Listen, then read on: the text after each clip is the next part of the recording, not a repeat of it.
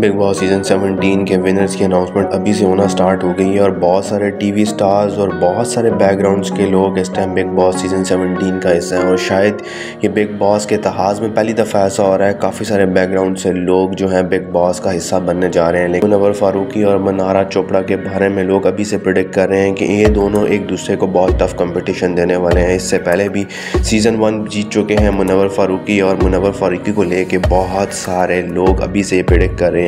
कि ये मनारा चोपड़ा को टफ कंपटीशन देंगे और लगता ही है कि बिग बॉस सीज़न 17 के ये विनर भी करार पा सकते हैं।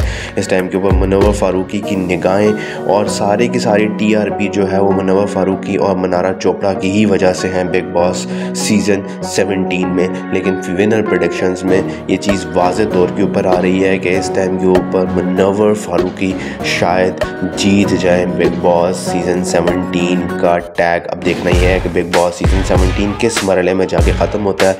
कैसे लोग इस सीज़न को पसंद करते हैं? लेकिन बहुत सारी ऑडियंस और टीआरपी जो इस टाइम के ऊपर हाई है वो मुनवर फारूकी और मनारा चोपड़ा की वजह से और बहुत सारे लोग जो फॉलो करते हैं बिग बॉस सीज़न सेवनटीन को, वो शायद मुनवर फारूकी और मनारा चोपड़ा की वजह से ही फॉलो करते हैं। इनकी चुलबुल बातें, इनकी शरारतें लोगों को बहुत ज़्यादा पसंद आ रही हैं। अगर आप इन दोनों के फैंस हैं तो मैं कमेंट सेक्शन में ज़रूर बताइएगा और आपको क्या लगता है कि इन दोनों में कौन बिग बॉस सीज़न सेवनटीन का टैग लेके जाएगा या कौन जो है बिग बॉस सीज़न सेवनटीन की ट्रॉफ़ी घर लेके जाएगा?